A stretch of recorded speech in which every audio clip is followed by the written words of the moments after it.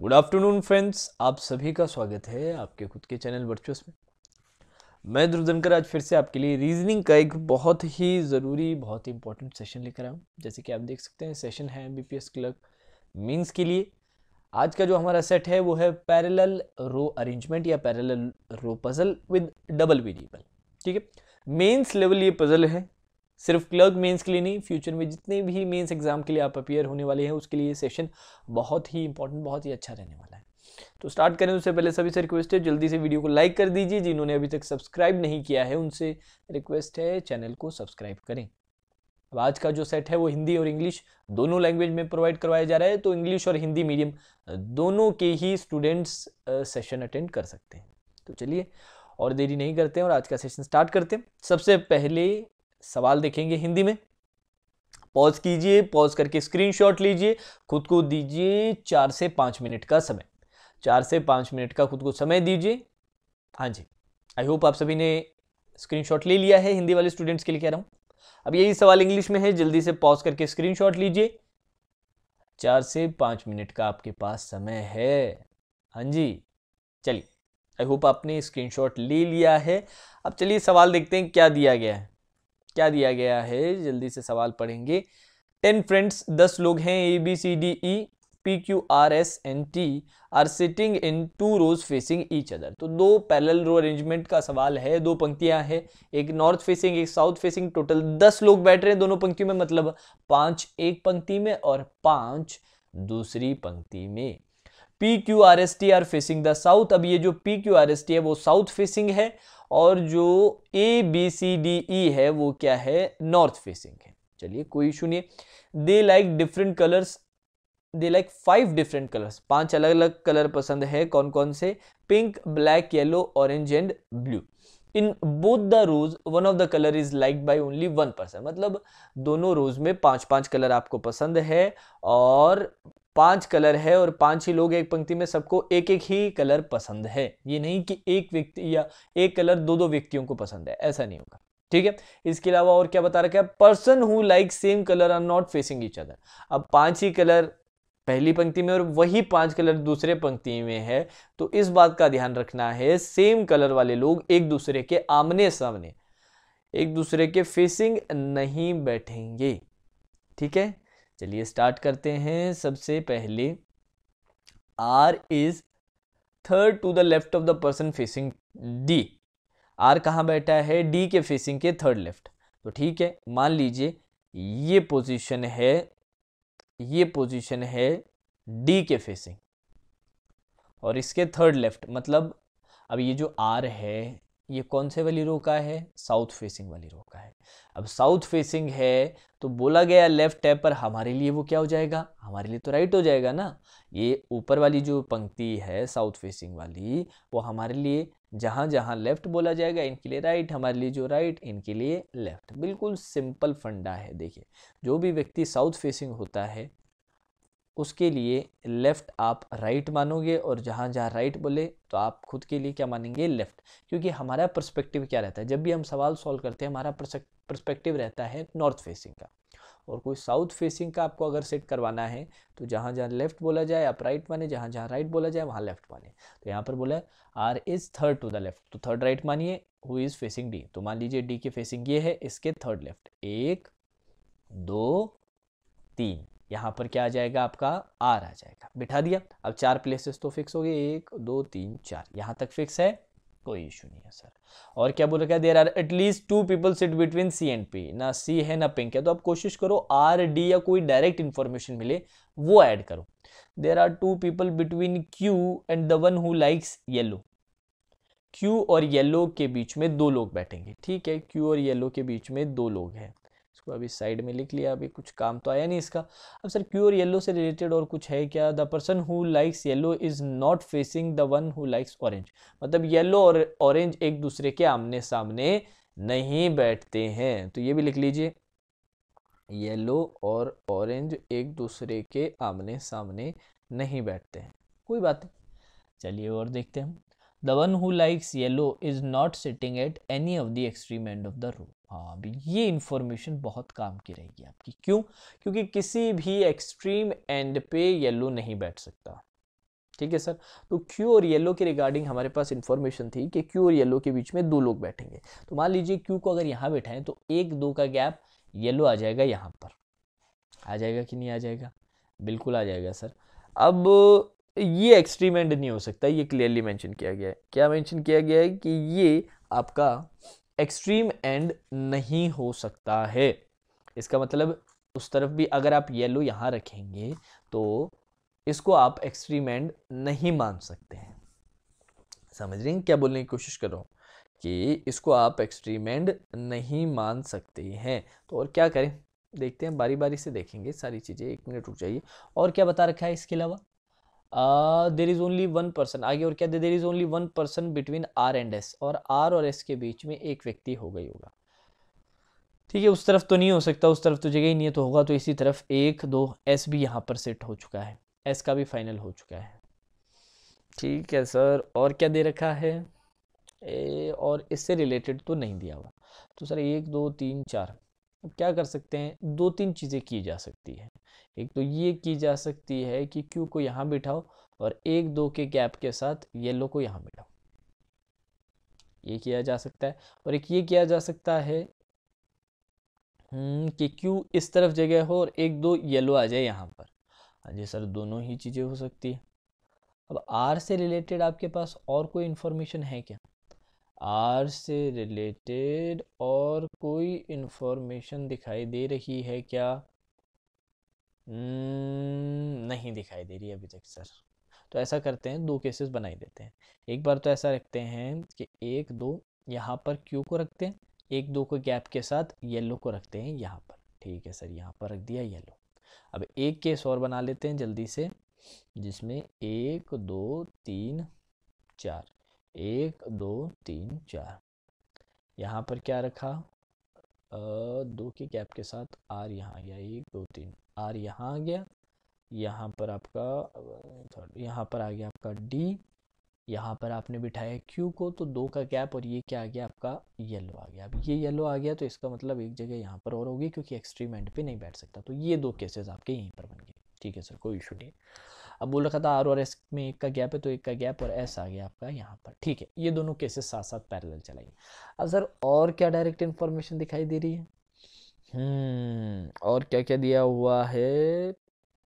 एक मिनट एक मिनट, ये लो बिठा दिया।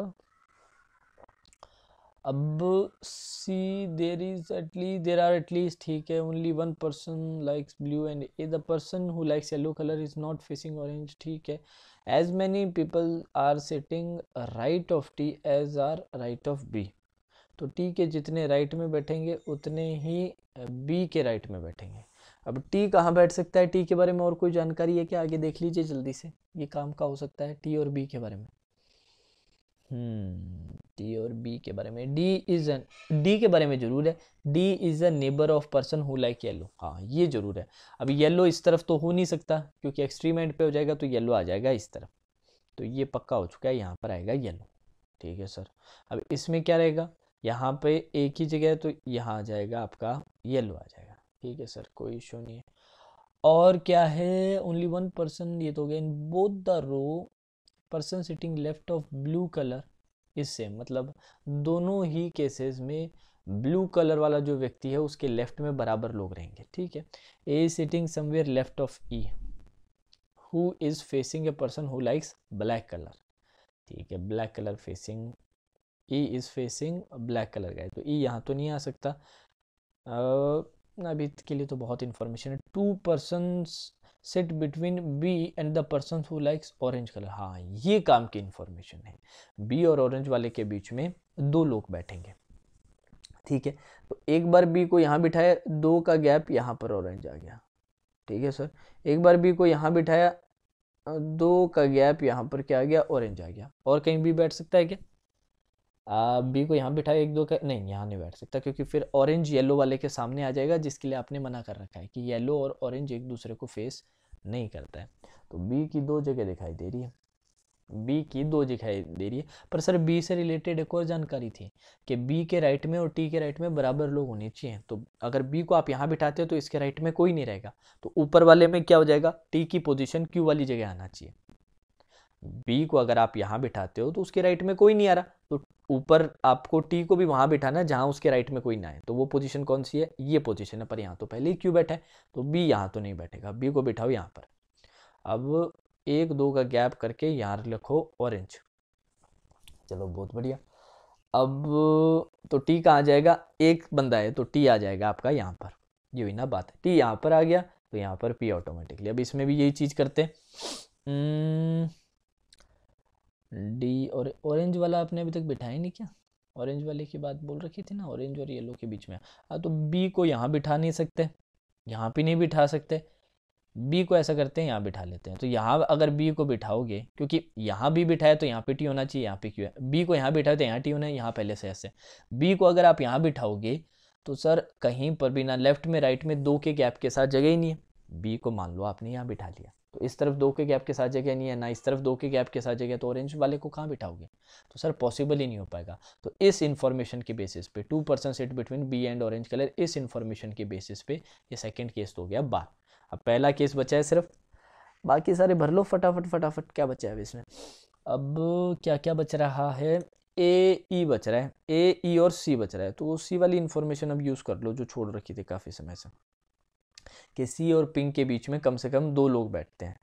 तो सी को कहाँ बिठाओगे? सी को यहाँ बिठाया। एक, दो, यहाँ पर पिंक आ सकता है। आ सकता है, बिल्कुल आ सकता है। और सी कहाँ बैठ सकता है? यहाँ तो बैठ नहीं सकता। सी यहाँ भी बैठ सकता है बैठने में तो। सी को यहाँ बिठाया। एक, दो के साथ पिंक यहाँ भी आ सकता है। तो सी की तो दो दो जगह बिठा दी आपने। ए के बारे में क्या बोला था? एक बार ए का देख लो। A is sitting somewhere left of E E के लेफ़्ट में बैठेगा ए अच्छा। ई e के लेफ़्ट में बैठ रहा है। अच्छा। और सी के बारे में और कुछ बता रखा था क्या? एक बार जल्दी जल्दी पढ़ो तो सारी सारी चीज़ें। ब्लू कलर और ए के बीच में देखो, ये लिख तो रखा है। One person sits between blue colour A A और ब्लू कलर के बीच में एक व्यक्ति बैठेगा। तो ए को ध्यान से बिठाना है हमें। ए को ध्यान से बिठाना है। तो ए आप यहाँ बिठाओगे तो एक का गैप नहीं हो पाएगा। ए को यहाँ बिठाओगे उस तरफ़ तो गैप नहीं एक का गैप हो जाएगा ए को यहाँ बिठाए हाँ तो ए की तो जगह फिक्स है। ए तो यहीं बैठेगा तभी एक के गैप के साथ इधर ब्लू कलर आ पाएगा। ठीक है? अब ए अगर यहाँ फिक्स है तो फिर सी का तो अपने आप ही फिक्स हो गया। सी को बैठना पड़ेगा यहाँ पर। दो के गैप के साथ क्या आ गया? आपके पास पिंक आ गया। बहुत बढ़िया। अब A sitting somewhere left of E E के लेफ़्ट में बैठता है तो ई यहाँ बैठ जाएगी। अब कलर कौन सा बच गया? आ, सारे हो गए सिर्फ़ एक कलर बचा है ये ब्लू है। इसको बता दो ब्लैक ये बी एल ए सी के ये आ गया आपका ब्लैक तो orange black yellow pink blue ये सारे सेट कर दिए. ये सारे सेट कर दिए तो इनको क्यों पीछे छोड़ रखा है? इनको भी करो फटाफट. हम्म, अब क्या क्या बच रखा था? सारे बचे हैं यार ऊपर तो. क्या क्या मिस कर दिया एक बार फटाफट देख लेते हैं. C third left C and pink there are two people between Q and yellow Q और येलो ठीक है यहाँ तक तो कोई only one person blue and A blue और ए तो ये तो हो गया आगे, person who likes yellow is not facing orange. Yellow के सामने ऑरेंज नहीं, यहाँ भी येलो के सामने ऑरेंज नहीं आएगा, ठीक है? D is immediate neighbour of yellow ठीक है। The one who like yellow ठीक है। Only one person and both the rows person sitting left of blue is same blue के लेफ़्ट जितने लोग बैठ रहे हैं, वो सेम है। तो इस तरफ़ सारे बैठ रहे हैं। एक, दो, तीन, चार तो इधर भी चार लोग बैठेंगे। इधर भी ब्लू के चार लोग बैठेंगे तो आर का कलर क्या आ गया? आर का कलर आ रहा है आपका, ब्लू ही आ रहा है। बहुत ही बढ़िया। लेफ़्ट ही बताना है ना? तो लेफ़्ट अपना किस तरफ़ हो जाएगा इसका? लेफ़्ट में चार चाहिए हैं। राइट में नहीं, लेफ़्ट में चार चाहिए देख लो एक बार। इसका लेफ़्ट किस तरफ़, इस तरफ़ थोड़ा ना होगा, इसका तो इस तरफ़ होगा। यहाँ थोड़ा ना बिठाओगे, यहाँ बिठाओगे ब्लू। यहाँ बिठा दिया आपने ब्लू। साउथ फेसिंग है ना? तो इसके लिए लेफ़्ट इस तरफ़ हो जाएगा। एक, दो, तीन, चार। बिल्कुल सही। यहाँ पे ब्लू बिठा दिया। और बताओ। और सुनाओ और सुनाओ आगे। A sitting E is facing who likes black colour E उससे फेस कर रहा है जिसको ब्लैक कलर पसंद है। तो ये ई सामने आर को फेस कर रहा है। इसका कलर आ गया आपका ब्लैक कलर आ गया। ये ना बात। येलो आ गया ब्लैक आ गया ब्लू आ गया। अब येलो वाले के सामने ऑरेंज नहीं बैठ सकता तो ऑरेंज तो यहाँ पे आ जाएगा। ऑरेंज यहाँ पर आ गया तो ऑटोमेटिकली पिंक यहाँ पर आ जाएगा।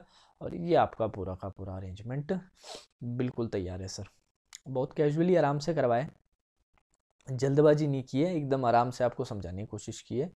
और ये आपका पूरा का पूरा कलर कॉम्बिनेशन के साथ पूरा का पूरा पैरेलल अरेंजमेंट रेडी है। ठीक है? अब सवाल क्या है इस पर जल्दी से देख लेते हैं। Which of the following combination is correct कौन सा कॉम्बिनेशन करेक्ट है? ए को पिंक पसंद है? नहीं। बी को ब्लैक पसंद है, नहीं?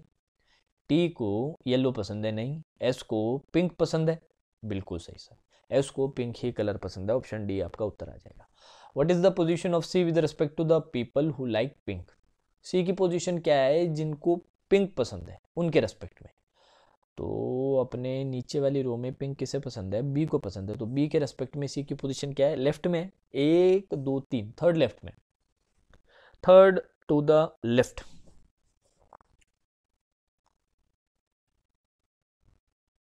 अच्छा। Third to the left immediate left नहीं है इमीडिएट नेबर ऑफ़ पर्सन अच्छा सामने वाले के हिसाब से भी बता सकते हैं। सामने वाले में भी देख लेते हैं। सामने पिंक ये रहा, इसके सामने आया और इसके सेकंड टू द लेफ़्ट हाँ ऐसे भी बता सकते हैं। मतलब पिंक कोई ज़रूरी नहीं, उसी रो का पिंक हो। सामने वाली रो का भी पिंक हो सकता है। तो सामने वाले के अकॉर्डिंग देखें तो उसके अपोजिट अगर आप जाओगे अपोजिट उस पिंक वाले के अपोजिट जाओगे तो उसके सेकंड लेफ़्ट चले जाओ। Opposite to the person who is second to the left तो ऑप्शन बी यहाँ पर आपका आंसर आ जाएगा। ठीक है? चलिए फाइनल क्वेश्चन है how many people sit between D and B D और बी के बीच में कितने लोग हैं? सिर्फ़ एक व्यक्ति है A one option A one आपका क्या आ जाएगा? आंसर आ जाएगा। ठीक है? तो अच्छा सवाल था। बिल्कुल डायरेक्ट इन्फॉर्मेशन नहीं थी थोड़ा सा सिस्टमेटिक तरीके से देखने की ज़रूरत थी। इतना स्ट्रेट फॉरवर्ड नहीं था। तो चलिए इस तरह के और भी सेशंस मैंने आपके लिए अपलोड कर रखे हैं। रिक्वेस्ट है, ज़्यादा से ज़्यादा इनको प्यार दीजिए सपोर्ट दीजिए शेयर कीजिए अपने फ्रेंड्स के साथ, जिससे इस छोटे से चैनल के बारे में और लोगों को भी पता चले। ठीक है? तो चलिए now that's all for today session have a great day